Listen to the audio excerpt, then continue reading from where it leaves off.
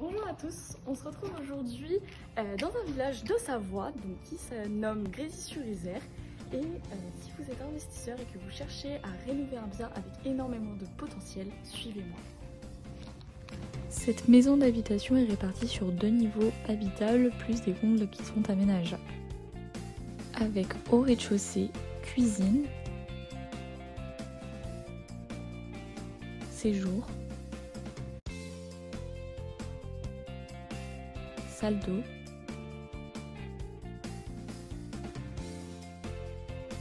et vestibule. Et au premier étage, trois chambres, un WC et un accès au comble.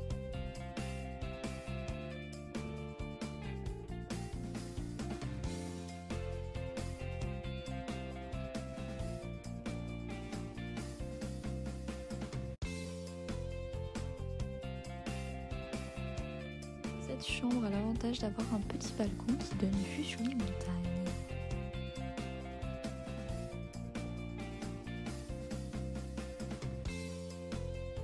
Ce tellement immobilier est constitué principalement d'une maison d'habitation et de plusieurs autres dépendances telles qu'une grange avec garage, écurie, cave et un cimetière et de deux autres dépendances dont une avec une fosse mécanique.